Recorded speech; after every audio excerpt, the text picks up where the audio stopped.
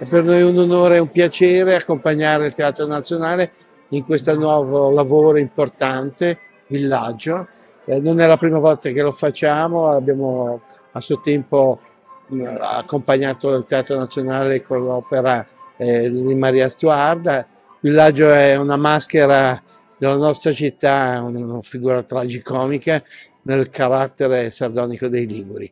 Quindi eh, siamo molto contenti, soprattutto sottolineo che crediamo molto in questa collaborazione col Teatro Nazionale e installeremo dei totem nel centro cittadino per promuovere questa iniziativa. Proprio perché si ride e si ride di noi e si ride della nostra resistenza alla, alla sconfitta eterna attraverso di lui che mh, diventa un eroe tragico. Fantozzi è un eroe tragico, è una maschera, eh, è la vera maschera della nuova commedia dell'arte e portarla in teatro santifica in qualche modo, regala i crismi definitivi alla, al fatto di poter essere non solo replicabile e interpretabile, perché la cosa straordinaria di una maschera come questa, e questo è il senso profondo dell'operazione, è che da adesso in avanti il ragioniero Ugo Fantozzi, matricola, eccetera, eccetera, può essere interpretato.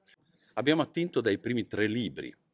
Eh, nei primi tre libri abbiamo organizzato ehm, sul fantasma formale, architettura formale del, della tragedia classica, quattro atti con prologo, epilogo, con i cori alla, alla fine dell'atto e abbiamo organizzato in maniera tematica Fantozzi e le donne, Fantozzi e la coscienza di classe, Fantozzi e lo sport, eccetera. Per la prima volta Fantozzi si distacca dal suo creatore e suo unico interprete, per cui è una bella sfida, ma è successo anche con Arlecchino che a un certo punto potesse essere interpretato anche da altri e lo stesso ragionamento abbiamo fatto io e Davide Livermore, per cui insomma è una sfida importante, rischiosa, però plausibile. È ancora attuale non tanto per la società che descriveva allora, ma per l'archetipo del, del- del perdente, dello sfruttato. Eh, purtroppo la società è molto peggiorata in questo, perché Fantozzi aveva una casa di proprietà, una famiglia stabile, riusciva ad andare in vacanza e aveva la pensione praticamente garantita.